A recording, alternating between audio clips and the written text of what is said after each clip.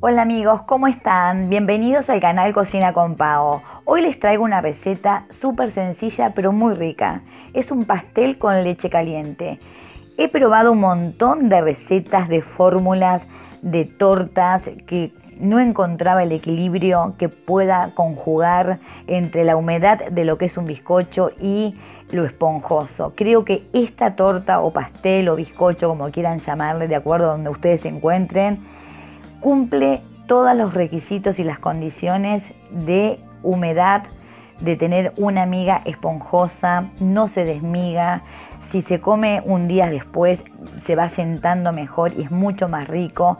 Para mí lleva todos los aplausos y creo que si vos lo llegas a hacer, no lo dudo que va a cumplir o va a ocupar el top 10 de tus recetas favoritas.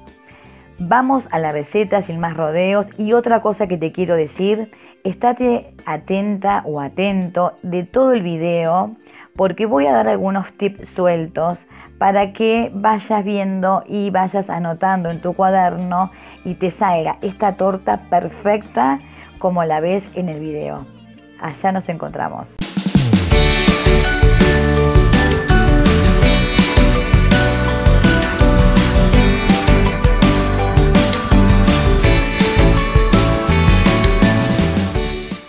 Los ingredientes para esta receta son 250 mililitros de leche entera, 120 gramos de manteca, 290 gramos de harina 4 ceros o harina floja, 6 huevos tamaño M, 12 gramos de polvo leudante, vainilla una o dos cucharaditas, una pizca de sal y 300 gramos de azúcar blanca. Antes de comenzar la receta, que voy a hacer un bizcocho con manteca este, y leche caliente, les quiero hacer una aclaración, porque a veces dicen, uy, no me sale el bizcocho igual que veo en el tutorial, eh, que está más alto, en qué pude haber fallado, si fallé en el batido, si fallé en el horneado. sí, se puede fallar en el batido y también en el horneado. Pero acá hay algo clave que lo tienen que, tener en cuenta siempre, por lo menos en las recetas con las que yo voy a publicar en mi canal. Yo siempre en mis recetas utilizo huevos grandes. Acá en Argentina, o por lo menos donde yo vivo, no clasifican los huevos como hacen en Europa. En Europa están clasificados por talla, como si fuese la ropa. S, M, L, XL. Bueno, yo voy a usar siempre huevos medianos de talla M, sería para Europa, que son estos. Este huevo, vamos a ver, les voy a decir lo que pesa. Pesa 76 gramos con cáscara. La cáscara pesa alrededor de 10 gramos más. Se lo restamos, quedará un huevo de 60 y pico de gramos. ¿sí? Estos son los huevos que yo voy a utilizar, 6. Bueno, acá hay uno que se me rompió. Si yo utilizo este huevo, que es chiquito, pesa 54 gramos con cáscara le restamos la cáscara, que varía de un 8 a un 10%, estamos, estaríamos trabajando con un huevo de 41 gramos. Entonces, te van a faltar ciento y pico de gramos de líquidos. Y ahí ya cuando falta eso, ese líquido, ahí también te va a fallar la receta, donde va a pasar de que no vas a tener eh, lo que pide la receta en cuanto a líquidos. Y ahí puede ser que el bizcocho no te salga alto como el que vos ves en la foto de cualquier tutorial. Uy, mira qué alto, a mí no me salió, respeté el número del molde. Bueno, esto quiero que lo tengan en cuenta. Por lo menos en las recetas que yo hago, que trabajo con huevos grandes. Y no son extra grandes, son huevos medianos. Pero miren la diferencia que hay de un huevo al otro. Miren la diferencia. Espero que lo vean bien. Es una diferencia abismal. Entonces, si vos tenés huevos chiquitos, vas a tener que agregar un huevo más o dos a lo sumo para poder este, equiparar la cantidad de gramaje de huevos. Porque si no, nunca te va a salir el bizcocho como corresponde. No es que te vaya a salir mal, pero va a faltar líquidos porque el huevo, la yema, la, la clara es, agua.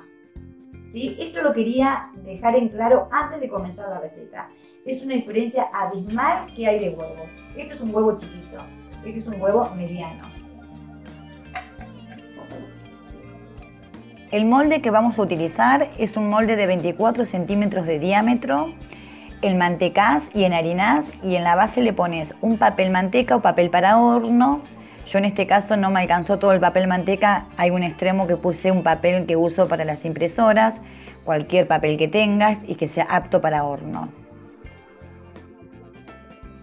En una ollita o un recipiente calentar la leche junto con la manteca hasta que quede bien derretida. Agregamos la vainilla y apagamos el fuego y reservamos. Vas a tamizar la harina junto con el polvo leudante dos veces. En un recipiente grande agregamos los huevos y comenzamos a espumar.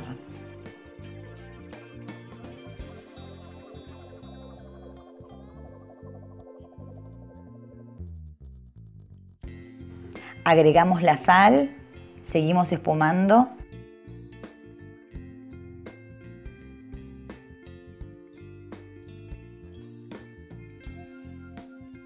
Y le vamos a agregar el azúcar en dos tandas. Y tenemos que batir hasta punto letra. Aproximadamente me llevó 10 minutos.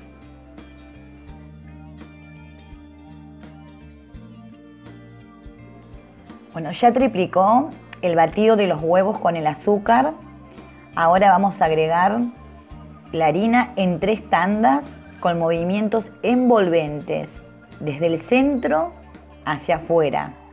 Despacio, tratando que no se baje la preparación porque todo el trabajo que estuvimos haciendo durante 10 minutos se nos viene abajo. Y eso es lo que va a hacer que la miga sea esponjosa.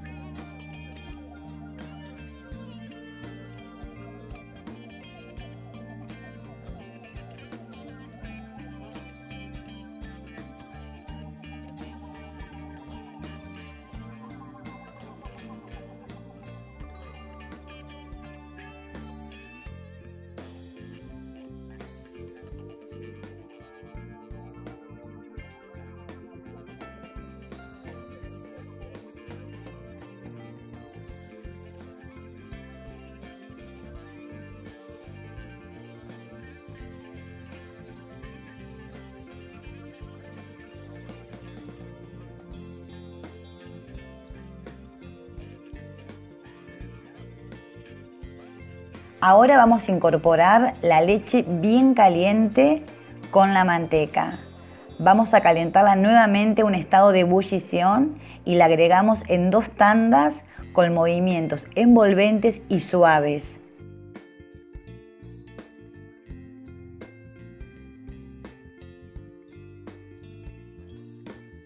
Que no se baje la preparación y que el líquido esté bien integrado a la masa.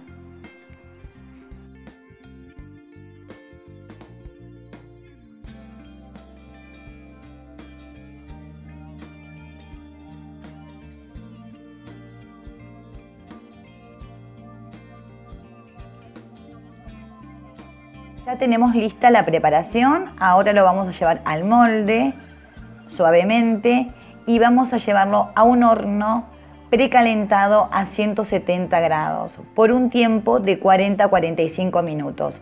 Todo va a depender del horno que tengan ustedes.